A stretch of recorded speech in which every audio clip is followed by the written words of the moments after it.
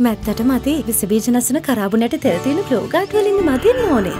නව ක්ලෝගාඩ් දැන් ලං රවි රනිල් වික්‍රමසිංහ අග්‍රාමාත්‍යවරයා මීට සති කීපයට ඉස්සෙල්ලා යාපනයට ගිහිල්ලා ප්‍රකාශ කරනවා ත්‍රස්වාදීන් කොටි ත්‍රස්වාදීන් වගේම හමුදාවත් ඒ දෙකම යුද අපරාධ කළා කියලා. එතකොට ඒක උපුටා දක්වමින් සුමන්දිරන් කියන දෙවිඩ සන්දානයේ මන්ත්‍රීවරයා කියනවා මේ වසර 10කට පස්සේ රාජ්‍ය නායකයෙක් මේ වගේ හමුදාව යුද අපරාධ කළා කියලා පිළිගන්න එක ඊටාම වැදගත් කියලා. එතකොට මේ සැසිවාරයේදී අපිට තියෙන බරපතලම ප්‍රශ්නය තමයි මේ අගමැතිවරයෙක් විසින් කියපු ඒ වාර්තාව උපුටා දක්වමින් ඇත්ත වශයෙන්ම ශ්‍රී ලංකාවට මේ නැවත වරක් යුද අපරාධ පිළිබඳ සහ ජෙනීවා යෝජනාව ක්‍රියාත්මක කරන්නට කියලා බල කරන්නට උන්ට ඉතාම බරපතල ලෙස ඒ ප්‍රකාශය උපුටා දක්වන්න පුළුවන්. ඒත් රටේ අගමැති වශයෙන් මම අහන්න කැමතියි රනිල් වික්‍රමසිංහ මහත්මයාගෙන් ඔහු දන්නවද කියලා යුද අපරාධ සහ අපරාධ කියන දෙකේ වෙනස.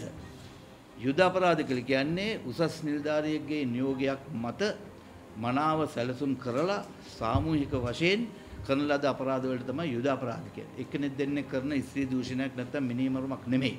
එතකොට අපි විසින් කිසිම අවස්ථාවක යුද අපරාධ කළේ නැහැ කියලා පරණගම කොමිසමට අනුයුක්ත කරලා තිබ්බ ලෝක ප්‍රසිද්ධ යුද විශේෂඥයෝ හිටියා 6 දෙනෙක්.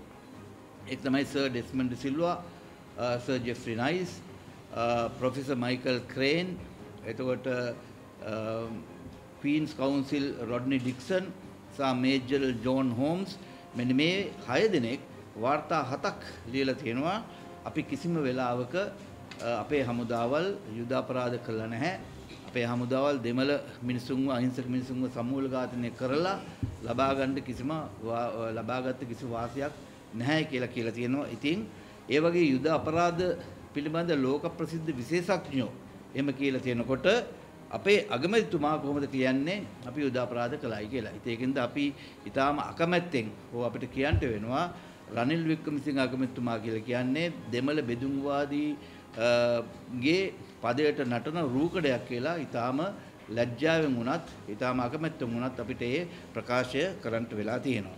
එතකොට ඒ වගේම තමයි එක්සත් ජාතික පක්ෂයේ සියලුම පාක්ෂිකුන් පවා මං හිතන්නේ ලැජ්ජ වෙන්න ඕනේ ඒ වගේ නායකයෙක් ඒ වගේ පුද්ගලෙක් තමාගේ නායකයා හැටියට පත් කරගෙන ඒ කටයුතු කිරීම ගැන.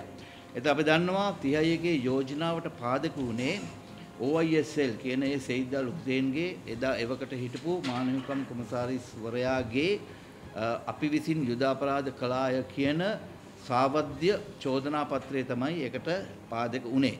එතකොට ඒ පිළිබඳව කිසිම විමර්ශනයක් කරන්නේ නැතුව එවකට හිටපු මංගල සමරවීර කියන ඒ විදේශ ඇමතිවරයා ඇමරිකාව විසින් ගෙනාපු ඒ යෝජනාවට සමානුග්‍රාහකත්වය දැක්වුවා කැබිනට් එකේවත් ජනාධිපතියේවත් කිසිම දැනුම් දීමකින් හෝ අනුමැතියකින් තොරව මම හිතන ඔහු කළේ ඒක අගමැතිතුමාගේ උපදෙස් පරිදි පමණයි. එතකොට අගමැතිතුමායි මංගල සමරීර පමණයි මේ යෝජනාවට සමානුග්‍රහකත්වය දැක්ුවේ ජනතාවටවත් කියන්නේ නැතුව.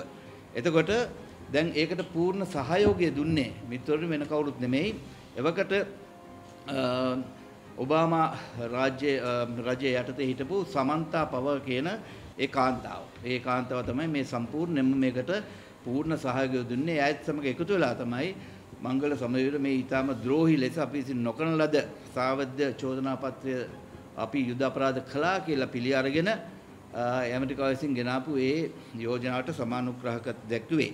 එතකොට අද අපි දකිනවා දැන් හෙට වෙනකොට මංගල සමරවීරගේ ඒ 30 වෙනි නැත්තම් 30 අවුරුදු දේශපාලන වික්‍රමයන් පිළිබඳ ඒවා ඒ උත්සවයට සමන්තා පවර්ව මෙහාට ගෙන්නනවා කියලා අපි දැකලා තියෙනවා දැන් පත්‍රයේ කියනවා. ඉතින් මම හිතන්නේ මේ සමන්තා පව වගේ කාන්තාවක් මේ වගේ රටට ද්‍රෝහි වෙච්ච අපේ රටට විරුද්ධව සාවද්‍ය චෝදනා ගෙනාපු අපේ රටේ එන්න ඒ හමුදාවල් මේ ත්‍රස්තවාදී නිම කළ ඒ හමුදා සමාජිකයෝ අන්ද මේ විදේශීය අධිකරණයට යටත් කරපු ජෙනීවල්දී මේ වගේ අපිට විරුද්ධව යෝජනාවක් ගෙනාපු මේ වගේ කාන්තාවක් මේ වගේ උත්සවයකට ගෙන ඒම මම හිතන්නේ අපේ සියලුම ත්‍රිවිධ හමුදා සාමාජිකයන්ට පොලිස් නිලධාරීන්ට සහ සිවිල් ආශ බලකාය සියලුම අයට කරන ලද අ, මහත් වූ අවමානයක් අපහාසයක් ඇටියට තමයි අ, අපි දකින්නේ.